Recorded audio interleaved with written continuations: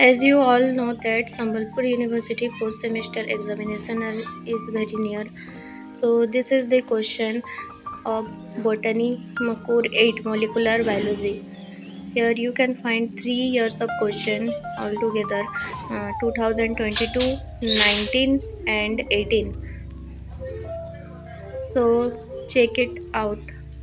This may be very helpful for you. Thank you if you want answers of this all this question so comment down in the comment box and don't forget to like shares and subscribe thank you